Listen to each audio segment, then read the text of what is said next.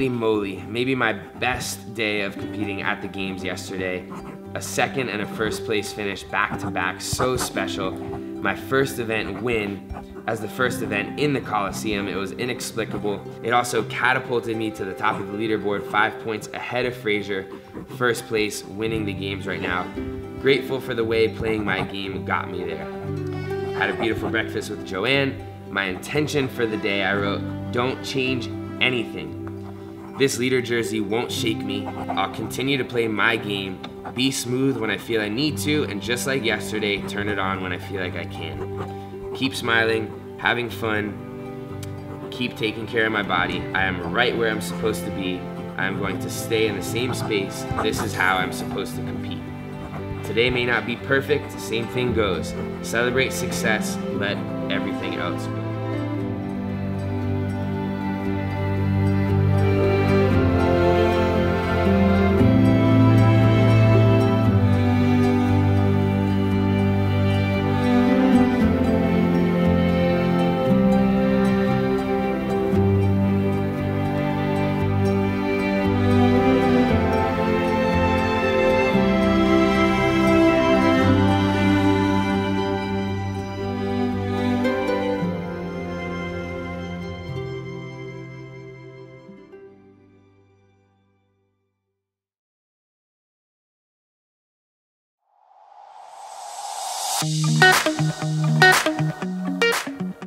First event of day three that they announced was a sprint. I like it, short, fast sprint. Any strategy? Run real fast. Super unsure about that event as well. I thought potentially I could do pretty well. I, I think I'm decently fast compared to a field of CrossFit athletes. At that point, there were 20 athletes and they were making the cut after the first heat down to 10. They'd cut one more time down to five just for this event, not overall. Here comes our first heat of men and inches heat. We have Mr. Noah Ohlsen, the current overall leader. The guys are rounding the bend.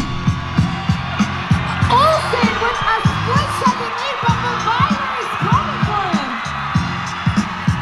Also the first into the turns. Zigging, zagging. Who's going to be first out? It is Noah Ohlsen.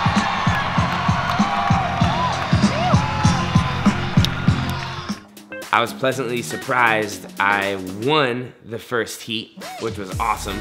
So to sprint through the finish line, hear them say that I won that heat, move on to the second one was a, an incredible feeling. Here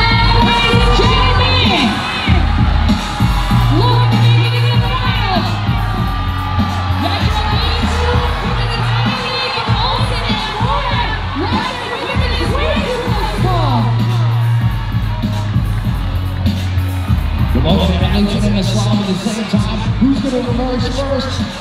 Oh my goodness. I ended up taking fifth in that second heat, which was last, but there was a chance that my time in that heat of five was fast enough that I could beat out that next heat of five and make it into the final five. But I didn't really think that that was realistic. I thought there's no way that there's nobody in that second heat that beats my time. Lo and behold, it was the fifth fastest time, so I got to move on to the final heat of five. I had guaranteed myself a top five finish. In that moment, I was excited. I felt good. I knew that I was gonna be good for the overall lead. I didn't realize at that point in time that Mat had taken, I wanna say 15th. He didn't make the cut into that second heat. So that would continue to widen the gap. If I took a guaranteed top five and he hadn't done very well, it kind of hit me after, oh man, I'm actually gonna get to hang on to this leader jersey for a little while, which I don't wanna say I didn't believe was possible, but I just wasn't even considering that. I, I didn't wanna think about the lead and points and the leaderboard and all that. I was just kind of gonna continue doing my thing and whatever happened was gonna happen. So I go out there for that final sprint.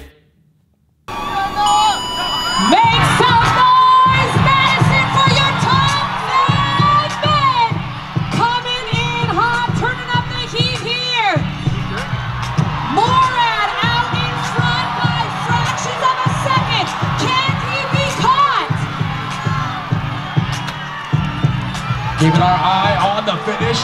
Boy, I slow it down just a touch. Who's it going to be? It looked like Gudmundsson in the lead. With McLeod and Ohlsen not far behind. Ohlsen will take third. Matt McLeod will take fourth. And End up taking third place overall, which I was really excited about for a pure speed sprint event. Made me feel good and powerful and athletic. That's like one of the things that I feel like everybody watching the games that doesn't do CrossFit can relate to is just running fast and sprinting. So pretty cool to take third on that one. Got to maintain the leader jersey. And there were two more events that evening and then one more day of competition. And as I started to do better and better, I, I, realized, all right, this thing is for real. This could be the year that I actually stand on the podium and maybe even win the CrossFit Games, which was exciting. Third place, good job. How'd it go? Good. That was good. It felt really good. I just had to burn it down. That's what I was thinking. Burn it down. What'd you expect going in? Man, I never know what to expect. I was hoping not to lose. Took a third. I'll take it.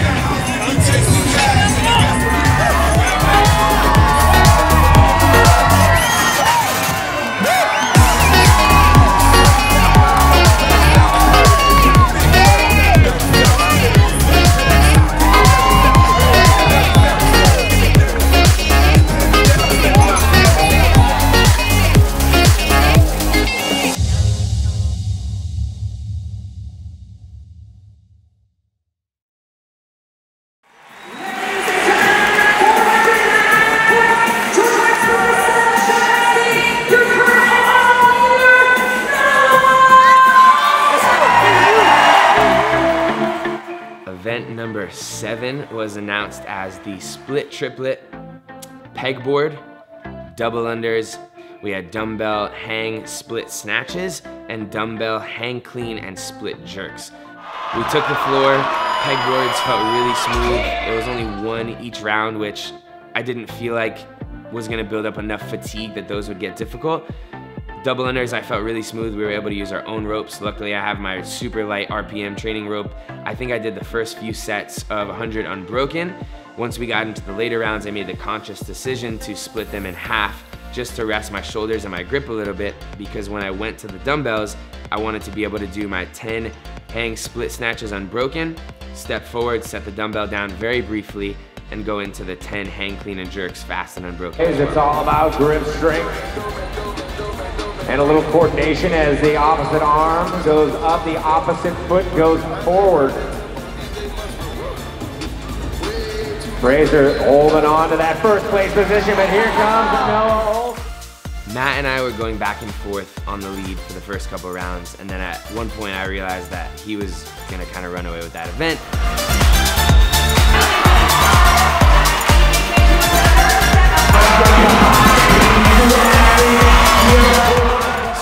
When Mat started to pull off a little bit, things got really exciting on round four.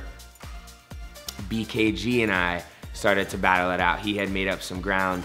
And when we made our way back to the pegboard for the fifth and final round, I thought, all right, it's time to turn it up. I've got this. I had a little bit of a lead on him getting to the pegboard, and I figured that if I could get through that smoothly, do the double unders unbroken, and hit both sets of 10 on the dumbbell, that I would be good to go and lock up second place.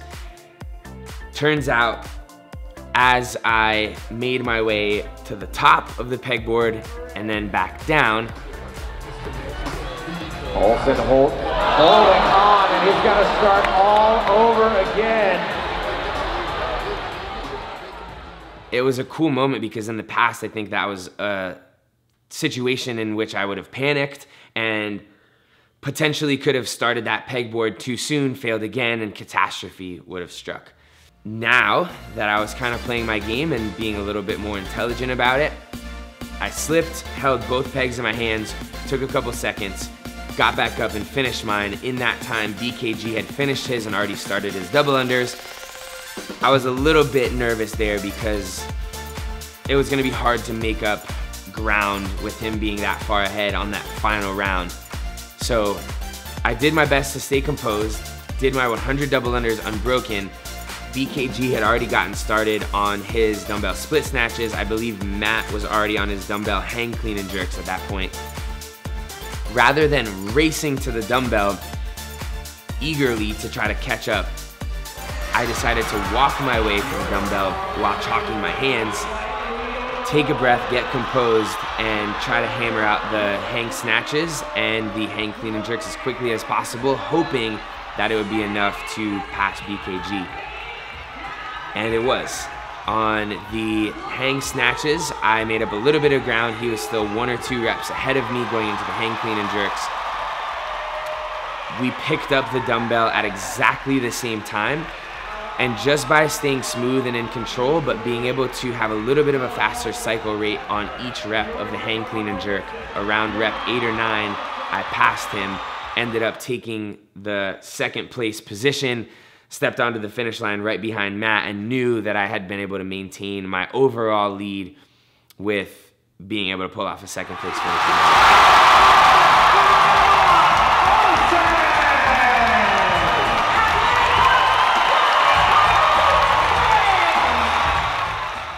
I was pretty happy with the way that that panned out. It wasn't absolutely perfect, but it was pretty much as good as it could have gone made a mistake somewhere in there, recovered from that mistake, still pulled off a second place finish. I was feeling good.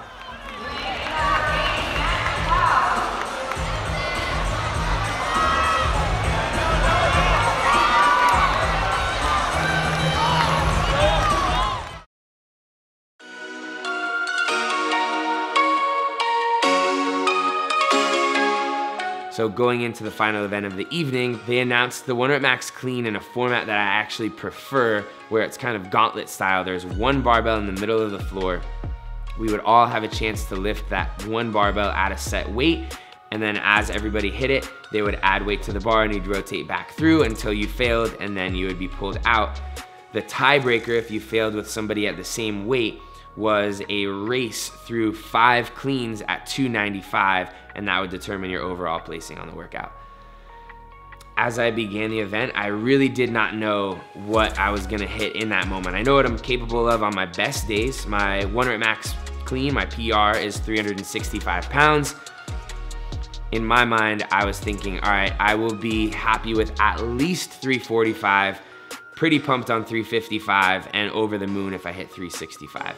So as I walked to the platform each time, I had this big smile on my face. I was kind of vibing to the music and I was ready to just get under that bar as quickly as I could. Hit 315, hit 325, hit 335, hit 345, and it was still feeling really good at that point.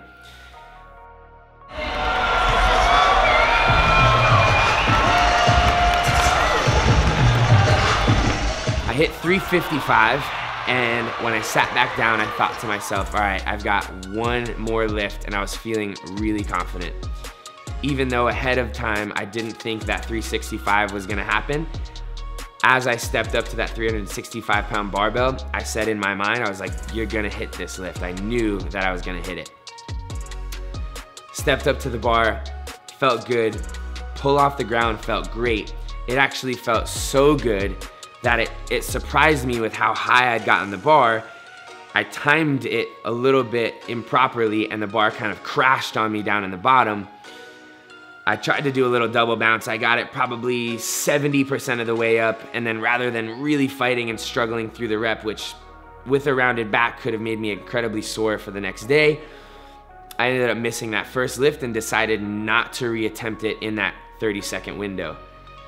But man, I was feeling so good in that moment that on that first lift that if I had timed it correctly and received the bar a little bit higher, no doubt I was standing that thing up, which is pretty cool because that was my PR at the time. It would have been awesome to do in front of everybody else, but the way that it played out, it probably didn't make any difference in the point spread.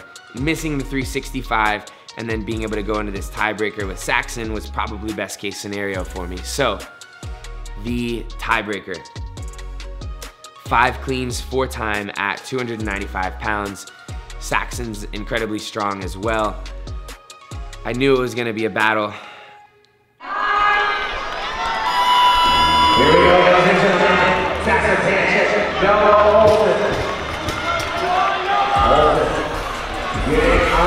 go, bar, action. Trying to catch the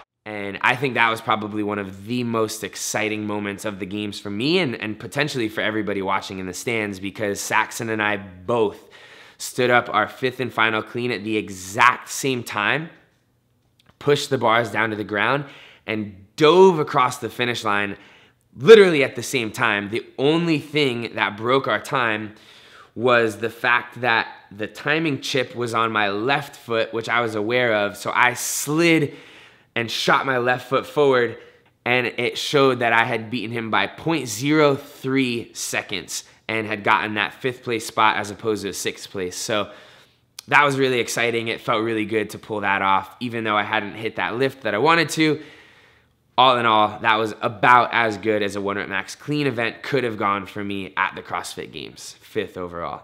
So I ended the third day of competition at the games, only one more day to go, still maintaining the overall lead, wearing the leader jersey going into the final day of competition.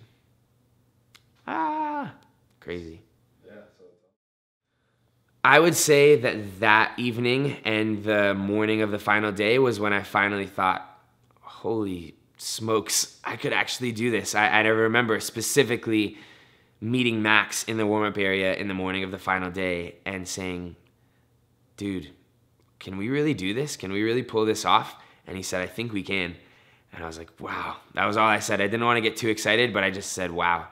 All right, let's do it. Final day. Gratitude. Wow, wow, wow. This has thus far been such a beautiful and fulfilling weekend. There are three more events left, and I am currently in the lead by 15 points. Grateful for that. Super grateful that I've had such a different mental experience this year and have actually enjoyed the week. Currently, starting the day off with a swim in the leader jersey. My intention is still not focused on a placement, it's on performing smart, being me, and enjoying the whole thing. I, I hope that I can maintain the lead but I will not put extra pressure into that. I can do it. I can win the games. I am loved. I am smart. I am the fittest. I'm going to celebrate, thank, and love my people at the end of the day, no matter what.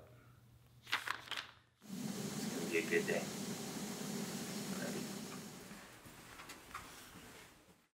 As far as the schedule went, it looked like we had three events for the final day. We knew that event one was gonna start off with a swim in the lake. No idea what events two and three were gonna be, but I was pretty confident in the fact that if I did well in the swim and only had two more events to go, it was possible that I could win the CrossFit Games, which is like mind blowing how big of a goal that's been for me for the last 10 years of my life. Event one was, in fact, a swim the event was a 1,000 meter swim into a 1,000 meter paddle for time.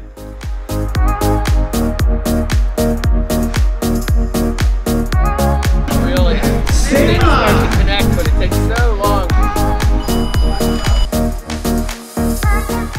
I felt so, so good during that event. I love swimming. I've been swimming almost my entire life. I was on the swimming and water polo team in high school. So I feel like that gives me a little bit of an advantage. And one of the things that I enjoy the most about swim events in a competition is that it gives you a lot of time to kind of reflect and be in nature and you're quiet and in your own head. And so I always take that time to really appreciate what I'm doing. And as I was swimming, I was ended up being by myself and again just thinking, man, this is incredible that this is my job. I'm here swimming through a lake and I've got thousands of people waiting for me on shore, cheering me on, wanting to see me do well. I'm in the lead, like what could possibly be better than this? So I swim to shore, get my paddleboard. I could tell that there was one guy ahead of me. I wasn't entirely sure who it was. And obviously the rest of the field was behind me. I got on the paddleboard, did my thing, was almost at the turnaround point and I hear somebody creeping up to me on my right hand side and it ended up being James Newbury. So he pulled up next to me. I said, hey, Jimmy, how you doing, pal? And he was in a really good mood as well. So we chit chatted for a second there. I actually reflected with him in the moment. I said, dude, how cool is it that this is our job? And he's like, it's pretty amazing, man. And I was like, all right, brother, I'll see you in a bit. And uh, we made the turn and paddled back, crossing the finish line on that event in third place. Still maintaining that overall lead was a pretty amazing feeling and just got me closer and closer to my dream of getting on the podium at the CrossFit Games.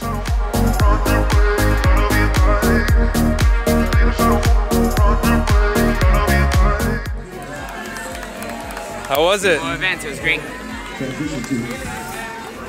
Gain points, the lead had spread out a bit. I think at that point I was 35 points ahead of Mat in the lead, and in my mind, there were only two events left.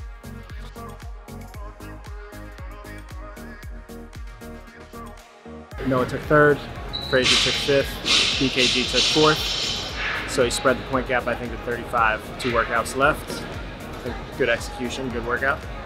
I, I wasn't nervous all weekend, but now I have a little bit of uh, tension and nerves and anxiety. So, yeah, but I'm also excited. I mean, if he does well in this next event, he almost guarantees that he gets second, which is awesome. So, I mean, I'm excited, nervous, and just like I'm ready for, I'm ready for it to play out.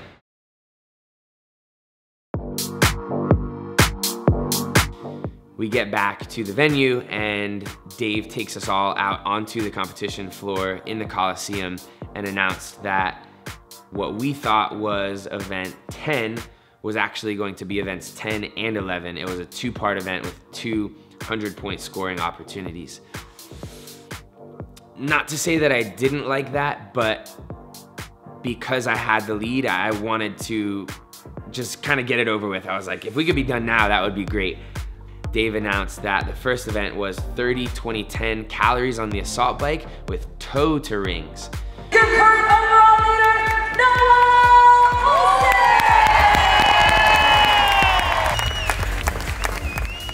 I decided I was gonna hammer that first bike to start and then settle into a pace where I wouldn't blow up. And unfortunately, at that point, I had fallen a little bit behind because some of the guys were just able to hammer the bike a little harder and I did my best to just not lose too much of that lead and I think I finished ringer one in fourth place overall which I wasn't pumped on but also I knew that it wasn't uh, a devastating finish and shouldn't affect the leaderboard too much. But we only had about a minute and a half turnaround before we started ringer two. And the way I was feeling made me a little bit nervous. Really having to get after it on the bike like that fatigued me a ton. I was just thinking, all right, you got this, just take it one rep at a time. Ringer two was 15, 10, five reps of a burpee jump to touch the rings and overhead squats at 135 pounds. Under that current state of fatigue, was pretty unsure how that one was gonna go down. I felt myself kind of sputtering out on the burpee jump and touches. The jump is relatively high for me. I mean, that's not an excuse because Mat was in that heat and we're the exact same height. So he was able to jump and touch them at a quicker pace. I felt like I needed to really pace myself on those if I wanted to be able to step right to the barbell and do the 15, the 10, and the 5 unbroken. So I was just playing my game, trying to work my way through it as quickly as I could a little twinge of regret on that final set of overhead squats. I kind of walked to the bar and took a breath before picking it up. And when I looked at the scores at the end, I took fifth, where I could have taken fourth by, I think it was 1.3 seconds. That was a little 10 point shift there that potentially could have kept me from passing that lead off to Mat. He had taken second on ringer one and first on ringer two and that was enough for him to flip-flop over me in the lead. With one event to go, having to hand that leader jersey back up to him was not an amazing feeling, but I still had to remind myself that that was not the way I was playing the game. I didn't want to have everything revolve around the points in the leaderboard. I was there to do the best that I could, and still finishing on the podium has been a lifelong goal for me. So rather than let myself get down, which there were little shifts in energy that I felt wanted to pull me in that direction and, and make me feel disappointed. When I finished Ringer 1 and Ringer 2, I was exhausted. That was probably the most drained that I had been throughout the competition. It was a combo probably of fueling, the fact that it was day four, we'd already done a ton of other stuff, and just the way that workout hit me. I was feeling pretty wiped, and that made me nervous going into the final workout, even though it had been announced as a workout that, again, is something that I, I really liked. So mm-hmm. they announced the final, get back into the warm up area, and I was rocked. I was super drained. My legs were really, really tired and sore. And that was kind of, again, starting to shift me into a negative position. I was thinking rather than, all right, I'm gonna crush this last one and maybe be able to win. Instead, I was looking at BKG on the bike next to me recovering, thinking, man, he looks kind of good and strong, and I don't really feel that great. I hope he's not able to overtake me and take second place and bump me down to third or off the podium completely. Those are like the thoughts that are in the back of your head. And as all competitors, we learn some ways to cope and push them out. But as I started to kind of flow through some recovery on the bike, I went and sat down with Max and we talked about the point spread a little bit. I started to get some food in. I ate two big handfuls of gummy bear, took some post workout from Evertrain, and I could feel myself starting to revitalize and starting to not only rebuild my energy, but just get into a better mood. And that got me excited to go out there for the final workout. So I was quite fond of the standard being the final event 30 clean and jerks at 135 pounds, 30 muscle ups, and 30 power snatches at 135 pounds for time. Trying not to pay attention to the other guys I still knew that that was an event that Mat was gonna crush. That's pure CrossFit. He's really good at all that stuff. I am as well, but I figured it would be a, a, very close battle there, and I knew that I needed to win that event, and there would need to be two or three people between Mat and I in order for me to win the games overall. We went out for that final event, and I stepped on the start mat. I can't remember. I think they had "We Will Rock You" playing. I, I may or may not be mistaken, but I think it was like the boom boom. And I remember kind of doing the clap overhead with my eyes closed before that final event and just soaking it all in and thinking, this is it. I'm gonna do it right now. I'm gonna close it out and earn myself a spot on the podium. The event started. I went out hot, but not too hot. Made my way through the 30 clean and jerks about the same time that everybody else had. And when I got on the rings, I had a choice there. I could either go for it and do sets of 10 unbroken, which probably would have bought me a big lead, but with the fatigue that I was under, it was definitely possible that I wouldn't be able to maintain 10s and I could fall apart on the last set. So I tried to make the smart decision, which I felt like I'd been making throughout the weekend, of just breaking them up into quick sets of five. That was working. I did five and five, moved to the second set of rings, I wanna say just behind Mat. On that second set, we pretty much became neck and neck. And then on the third set of 10, the third and final set of rings, I went four, four, and two, but still was able to get off the rings ahead of anybody else. And I got to the final 30 snatches before Mat and BKG had even finished their muscle ups. So I got one snatch in, and then Mat walked up next to me, and as I was hitting my second snatch, he cranked out a set of five touch and go. And I remember thinking, all right, I almost wanted to drop the bar and like give him a little playful applause, thinking, let's see if you can maintain that throughout. I didn't think that I would be able to do six sets of five touch and go just because of how high my heart rate was and how much my legs were burning. But I was like, I'm gonna play my game, keep doing my singles, and then at the very end, Max had said, go out in a blaze of glory, and if you feel like you can do a big set of touch and go, finish with that. We got to that final set of snatches, and looking back at it now, I, I almost regret not going for all five of those touch and go. I'm really curious if I had been able to, from that final set of five, do all touch and go, possibly have been able to beat Mat on that. Doesn't really make a difference because even if I beat him and he had taken second, I would not have taken the overall lead. So it's not something that's like gonna eat me forever. But I did two singles and then on the final three, I did touch and go snatches stepped onto the finish mat, realized that I had taken second place in the world at the CrossFit Games. And instead of being bitter about not winning, I let all of that go and I just soaked in the fact that I finally had achieved my dream and was sharing it with so many people. Found Joanne in the crowd, found some of my friends, and was just in a state of pure bliss at that point.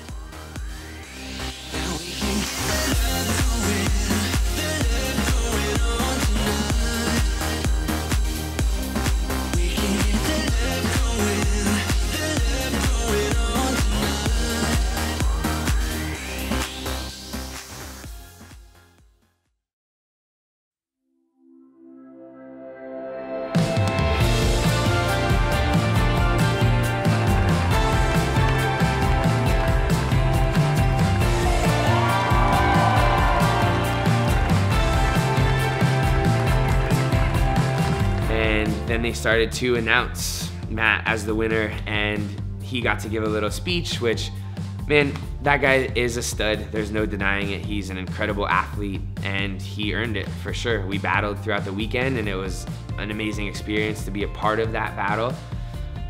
Definitely props. Got to give it up to Mat. Congratulations on winning the games again for the fourth time.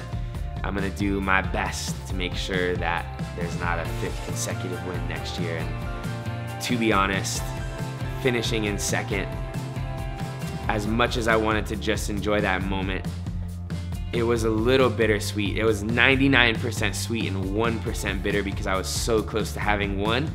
But I think it falls perfectly in line with my happy but hungry mindset because I was so happy that I'd finally achieved my goal but there was still that little internal flame that wanted me to be able to win the game. So I think that leaves me now on a chapter where I am so happy and I love that I've accomplished that, but I am so hungry and I still want to accomplish the only thing that I've yet to accomplish in my CrossFit career is winning the CrossFit Games.